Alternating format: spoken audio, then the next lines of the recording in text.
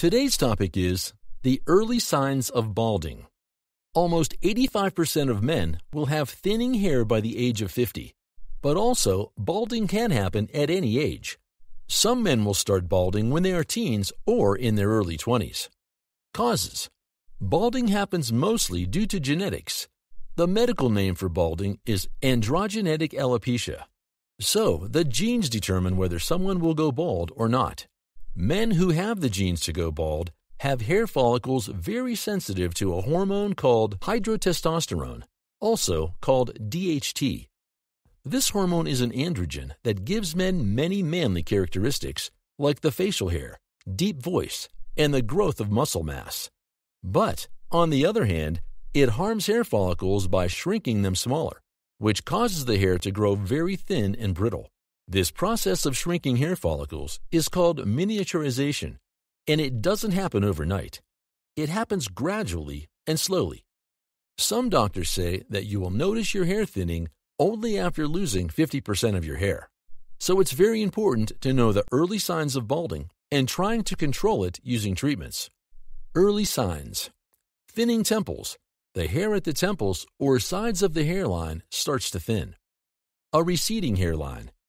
The first obvious sign of balding is the recession of the hairline begins at the temples or the sides and eventually causes an M shaped hairline. A receding hairline may sometimes be confused with a maturing hairline. A maturing hairline is a slight recession that happens normally with age. So, you may have no hair loss and still have a mature hairline. Thinning crown. The crown is the area at the back of the head. Some people may start losing hair there first.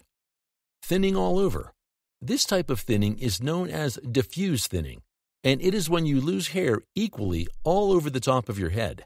This type of thinning can happen with no hairline recession. Hair falls in large amounts. Hair falling is normal. People with no hair loss lose about 100 to 120 hairs per day, and that is completely normal. But if there is a sudden increase in the hair fall rate than normal, you may even notice clumps of hair falling out during the shower, for example.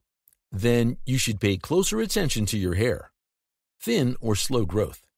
The DHT hormone miniaturizes hair follicles, like we said.